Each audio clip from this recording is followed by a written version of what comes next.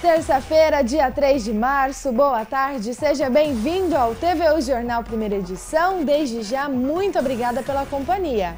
E hoje nós vamos falar sobre a sessão da Câmara. Vários assuntos foram abordados pelos parlamentares ontem na reunião legislativa. Além do uso da tribuna, sete projetos foram votados e aprovados pelos parlamentares. Secretaria Estadual da Saúde confirma que está monitorando casos suspeitos do novo coronavírus em Rio Preto e Santópolis do Aguapeí.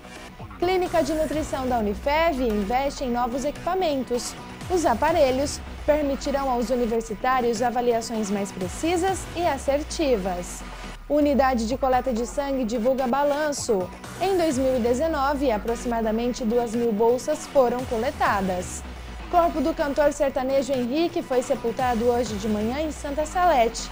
Cantores da região lamentaram a perda precoce do músico. Hoje é dia de saber sobre as vagas de emprego e também o esporte. Esses e outros assuntos a partir de agora no TV Jornal.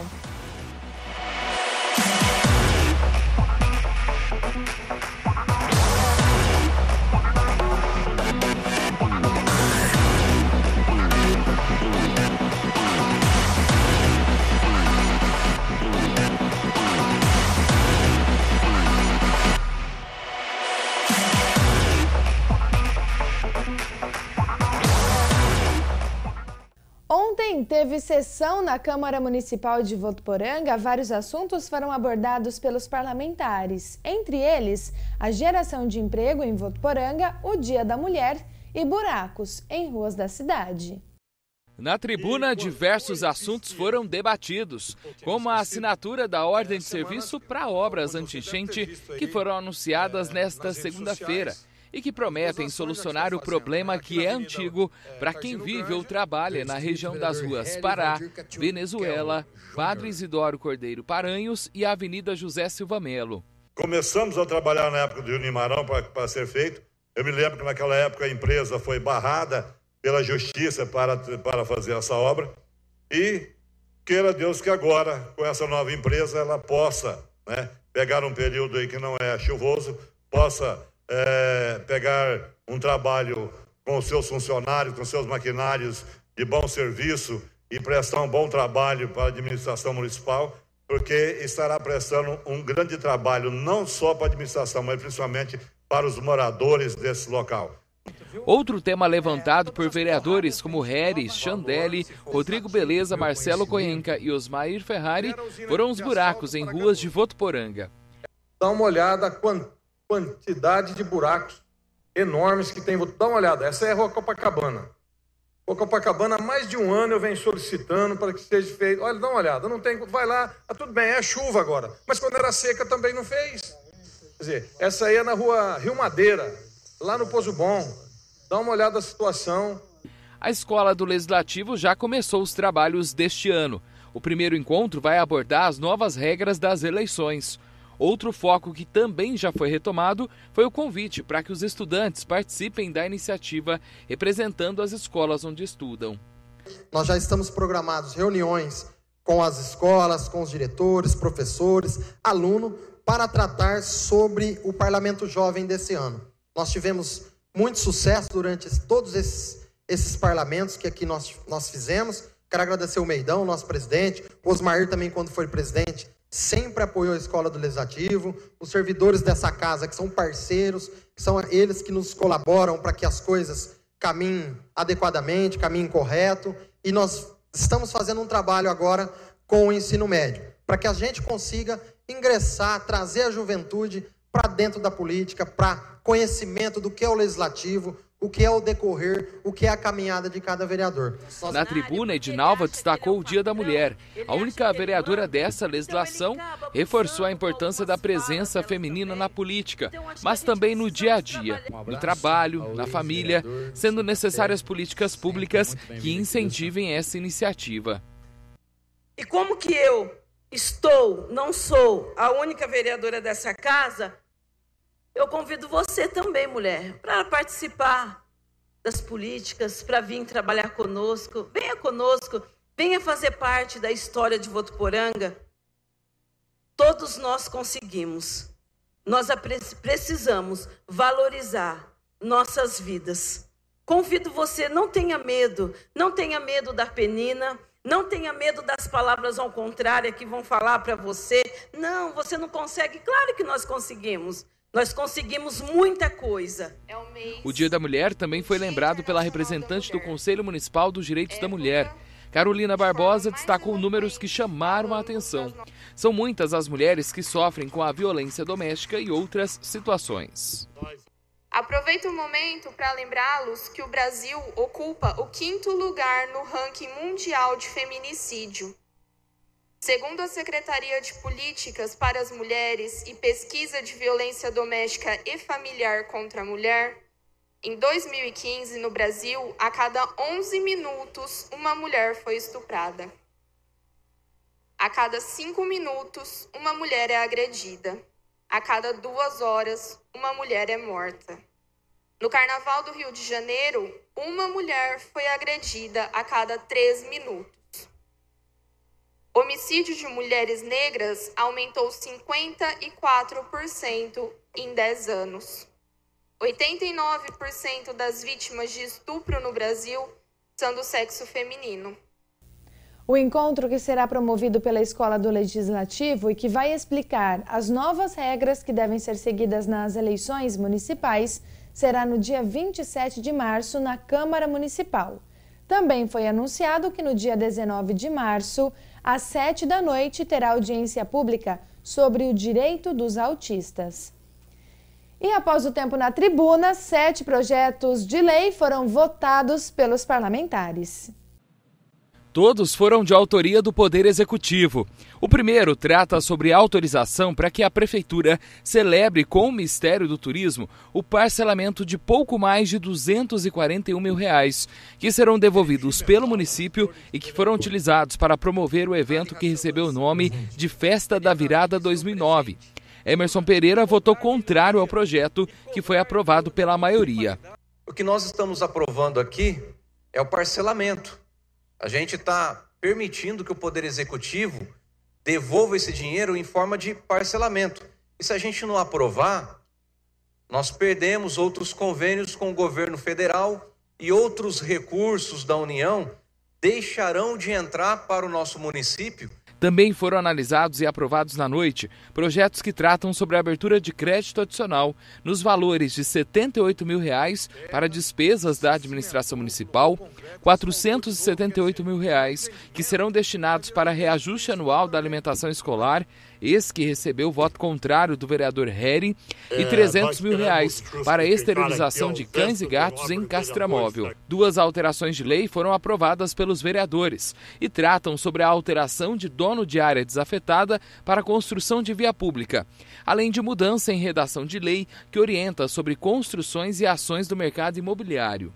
Os vereadores ainda votaram e autorizaram o Poder Executivo a transferir o valor anual de quase 443 mil reais para a Associação Cultural Zequinha de Abreu de Votuporanga, o que representa 3% de aumento em relação ao repasse feito no ano passado. Os recursos são próprios do governo municipal. Então eu não poderia deixar de vir aqui e cumprimentar é, essa, esse, esse, repasse de 442 mil, com certeza, é, para o ano, né, para o ano todo, com certeza estará ajudando é, esses músicos aqui em nossa cidade.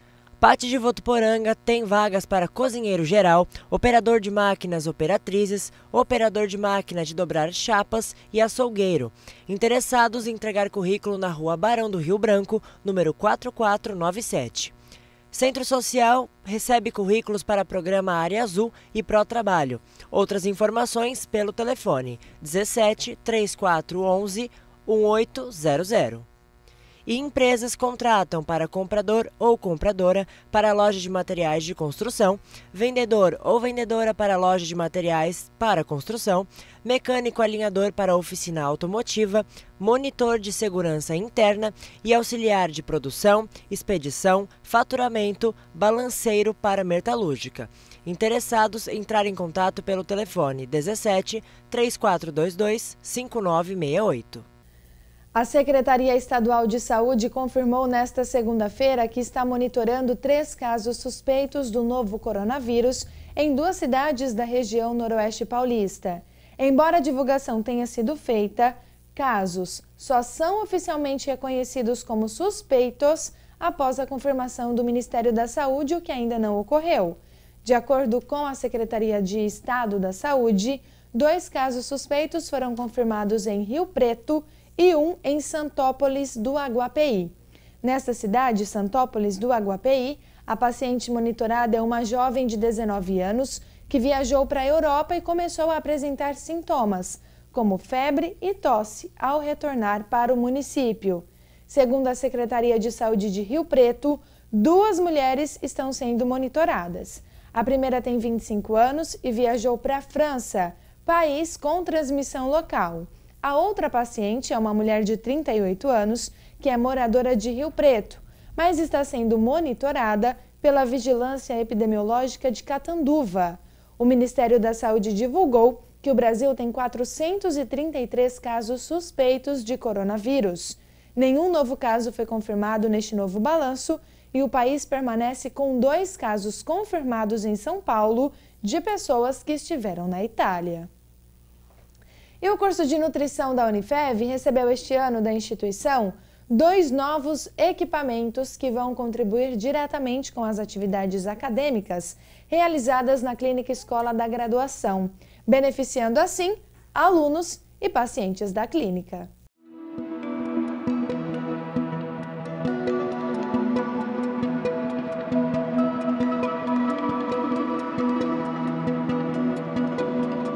Aparecida vai passar por uma cirurgia em breve, por isso precisa emagrecer. Preocupada com o peso, ela veio à clínica escola da Unifev buscar atendimento e já gostou da primeira experiência. Eu preciso fazer uma cirurgia no pé e o médico pediu para me emagrecer. Aí eu vim procurar. E como que você ficou sabendo aqui da clínica? Eu fui no postinho, aí a doutora me deu encaminhamento para cá. E o que, que você achou dessa primeira, desse primeiro atendimento? Gostei, gostei muito, muito bom. A Clínica Escola de Nutrição da Unifev existe desde 2017 e atende cerca de 800 pessoas por ano. A clínica está com novas vagas abertas aos interessados em receber orientação nutricional e avaliação. Os atendimentos são gratuitos e realizados por alunos em regime de estágio, supervisionados por professores responsáveis. As consultas realizadas aqui na Clínica Escola são individuais e personalizadas, de acordo com as necessidades observadas de cada paciente. A clínica ela atende por ano cerca de 750, 800, 850 atendimentos durante todo o período letivo. É, nesse período, a gente faz a triagem desse paciente, ele vem até a clínica, traz os exames, traz o que ele come, que a gente entrega um registro, é feita uma avaliação completa, agora com esses equipamentos, melhora ainda essa avaliação. E também a gente monta o plano alimentar individualizado, com as orientações também, a lista de substituição e tem acompanhamento dele até a gente achar que realmente ele deu certo, conseguiu o objetivo e a gente dá alta para ele. E agora, para melhorar ainda mais os atendimentos dos pacientes e o aprendizado dos alunos estagiários, a Clínica Escola recebeu da instituição neste início do ano dois novos equipamentos, o Hand Grip e o Bioimpedância, investimentos que custaram respectivamente cerca de R$ 1.700 e 21 mil reais. A bioimpedância, ela serve para avaliar a massa magra, a massa gorda e a água corporal total. Então, ela pode ser utilizada em pacientes para é, atleta ou até mesmo paciente hospitalizado. E o hand grip, a gente faz a força de pressão manual. Então, a gente consegue determinar a perda de massa magra, tanto em indivíduos que, então, que estão em suporte de dieta ou até mesmo para acompanhamento aqui na clínica. O Hand Grip é novidade na clínica. O bioimpedância é o segundo equipamento adquirido desse tipo, já que o primeiro é mais antigo e não oferece tantas funções como recém-comprado. Por isso, as duas novas aquisições são muito importantes para a clínica. Foram feitas compras magníficas que vão trazer muita qualidade de vida para esse paciente, no sentido da gente conseguir ajudar mais esse paciente e próprio aluno fazer pesquisa também. Como falado na reportagem, a Clínica Escola de Nutrição da Unifev está com novas vagas abertas para quem se interessar em receber avaliação e orientação nutricional. Os atendimentos são de graça e os agendamentos devem ser feitos diretamente na clínica, que fica aqui no Campo Centro, com entrada na rua Sergipe, esquina com a Rio Grande. Se você quiser mais informações, o telefone é o 3405 9999 no ramal 922. E a unidade de coleta de sangue da Prefeitura de Votuporanga divulgou o balanço de doações do último ano. No total, 2.466 doadores compareceram no local e 1.965 bolsas foram coletadas. Foram registrados ainda 209 doadores de medula óssea no município em 2019. Já neste ano, até o momento, 377 doadores compareceram no local, sendo 311 bolsas de sangue coletadas. Foram registrados 32 doadores de medula óssea de janeiro de 2020 até o momento. As coletas ocorrem às terças-feiras, hoje, das 3 às 6 da tarde, e na quinta-feira, das 8 às 11 da manhã. Para doar, é necessário apresentar um documento com foto emitido por órgão oficial e válido em todo o território nacional. Neste sábado, assim como todo primeiro sábado do mês, a unidade estará aberta das 8 às 11 da manhã para os doadores, é, para doação. Né? No entanto, todas as vagas já foram preenchidas. Os agendamentos aos sábados devem ser realizados com até 20 dias de antecedência.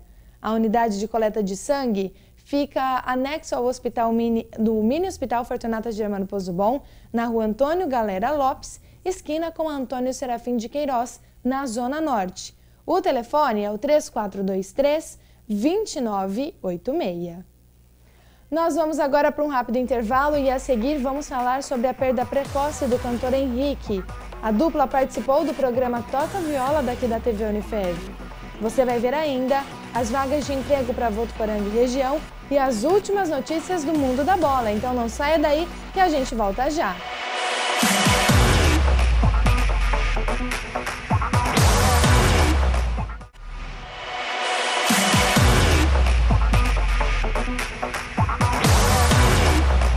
O corpo do cantor sertanejo Henrique, da dupla Neto e Henrique, que morreu na madrugada de segunda-feira, foi sepultado na manhã de hoje em Santa Salete, cidade onde ele nasceu. A família do cantor optou por fazer parte do velório em Fernandópolis, município onde a dupla começou a carreira. Músicos da nossa região e outros nomes da música lamentaram a morte do cantor. O músico sofreu traumatismo craniano após se envolver em um acidente no dia 8 de fevereiro. Henrique tinha 22 anos e no dia do acidente seguia pela Avenida Navarro de Andrade, em Santa Fé do Sul, quando bateu na traseira de uma caminhonete.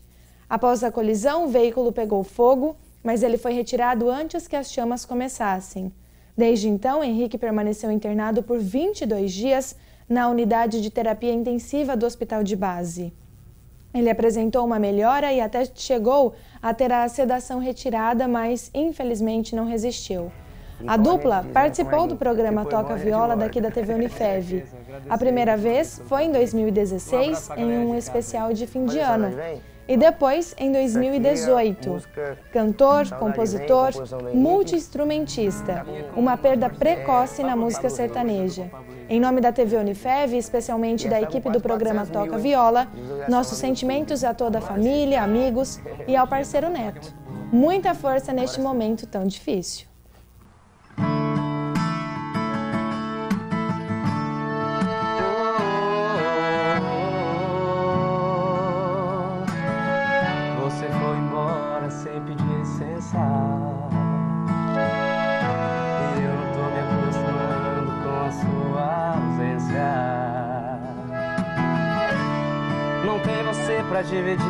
Só a saudade ocupando o lado esquerdo da cama que um dia foi da gente. É assim e eu ainda tenho a esperança de te ver voltar. E a saudade vem e só você não vem. Sai com os amigos, já não tem mais graça.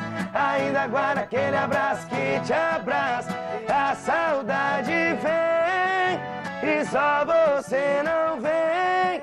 chegou sábado, domingo já não tem mais graça. O tempo vai passando, só você não passa. E oh, oh, oh.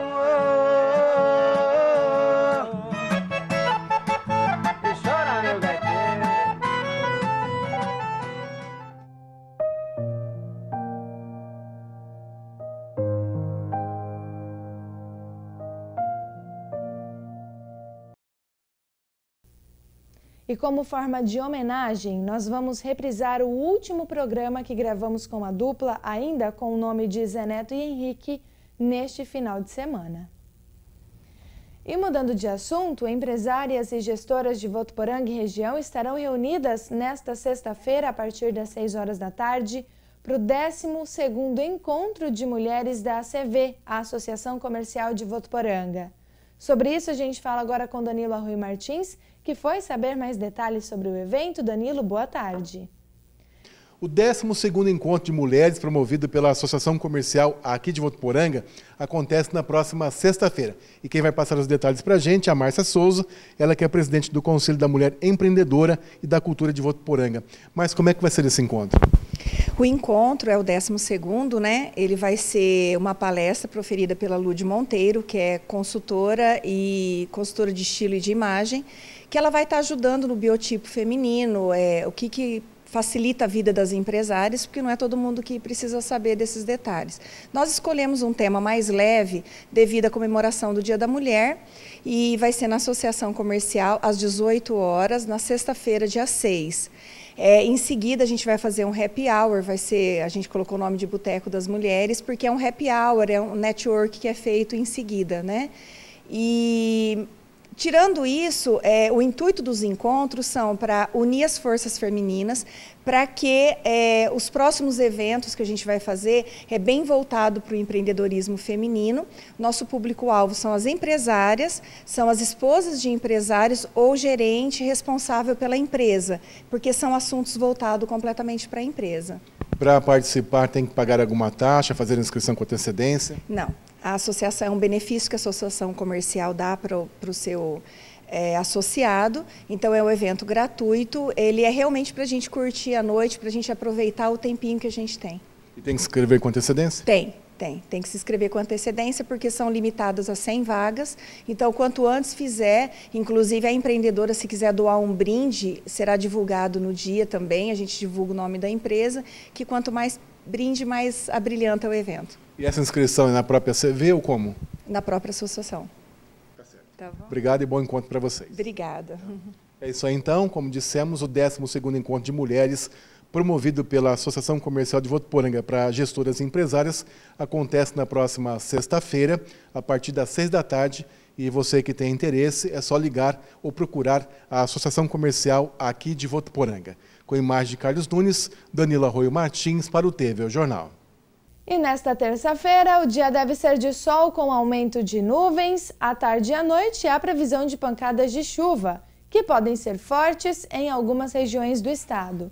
Sobre as temperaturas, continuam ali na casa dos 30. Em Valentim Gentil, os termômetros variam entre 19 e 29 graus. Tanabi, a mínima é de 18, a máxima de 30. E em Votu, os termômetros variam entre 17 e 31 graus. Neste momento, a temperatura é de 29 graus.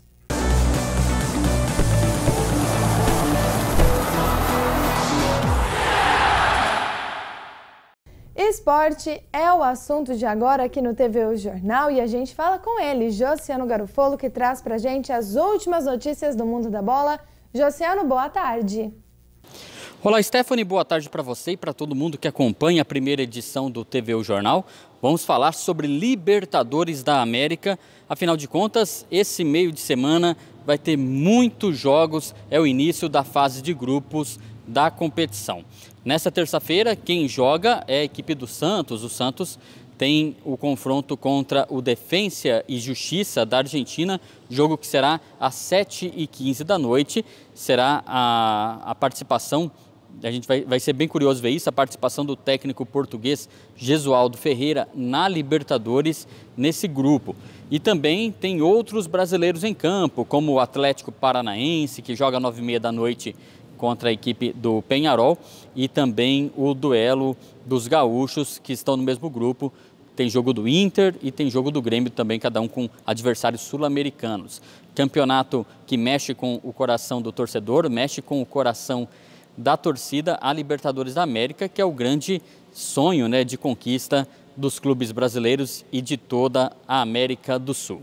Então hoje tem o início da fase de grupos da Libertadores. A gente comenta também sobre o Clube Atlético Votuporanguense, a equipe que está animada, deu uma renovada no espírito após a primeira vitória na competição, o jogo contra o Red Bull Brasil no final de semana em Campinas, que teve a vitória da Votuporanguense por 1 a 0 com o gol do Pedro Bortoluso. A equipe treinou no período da tarde ontem, treina hoje também, faz o apronto final, porque amanhã, três da tarde, encara na Arena Plínio Marim a equipe do Aldax. O Aldax está um pouquinho melhor na tabela, tem 10 pontos, o Votuporanguense está com 6 pontos e precisa vencer em casa para afastar cada vez mais esse drama do rebaixamento. A vitória, dependendo dos resultados, pode tirar o time da, dessa última posição da lanterninha da competição. Então fica a expectativa para o jogo da Votuporanguense nesta quarta-feira também na Arena Plínio Marim, três da tarde. A força do torcedor aí para empurrar a Alvinegra contra o rebaixamento. Stephanie, eu volto com você. Obrigada, Josiano. E por hoje é só. O TV O Jornal fica por aqui. Para você, uma excelente tarde. E a gente se vê amanhã de novo, hein? Às 8 horas no Jornal da Manhã e ao meio-dia e meia aqui no TV O Jornal. Até lá. Tchau, tchau.